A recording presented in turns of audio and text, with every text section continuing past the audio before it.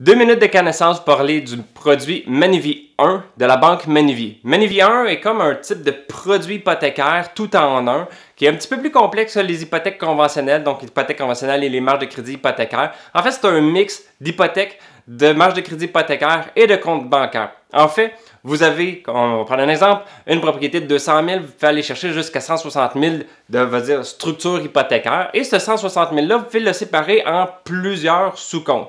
Donc, mettons que vous aviez 100 000 d'hypothèque réelle sur la propriété, vous faites un sous-compte de 100 000 Vous avez besoin d'un 30 000 de liquidité pour une mise de fonds pour un immeuble, vous faites un sous-compte de 30 000 Vous avez besoin d'un 20 000 pour euh, un projet entrepreneurial, vous faites un sous-compte de 20 000 pour utiliser ces liquidités-là pour votre projet. Ce qui est intéressant, c'est la flexibilité. Et c'est vraiment le mot qu'il faut retenir, c'est flexibilité. Donc, vous avez la possibilité de faire tout ça dans un seul compte et de garder le tracking des intérêts et déduction des intérêts pour chacun des comptes. Donc, vous pouvez réellement avoir la flexibilité de dire, bon, ben, ce 100 000-là, c'est pour ma maison, c'est non déductible.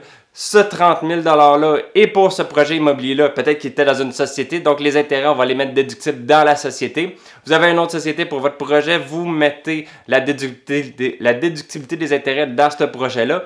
Et vous avez la possibilité de mettre ça sous forme de prêt hypothécaire, marge de crédit hypothécaire, donc vraiment comme une marge de crédit avec des taux verts, euh, avec des taux fixes, taux variables ouvert, fermé, un an, deux ans, trois ans, cinq ans, dix ans. Vous avez vraiment cette flexibilité-là de choisir et c'est très important. Et la dernière chose que je vais vous parler, mais je n'irai pas super loin avec ça, l'hypothèque pour l'instant n'apparaît pas au dossier de crédit.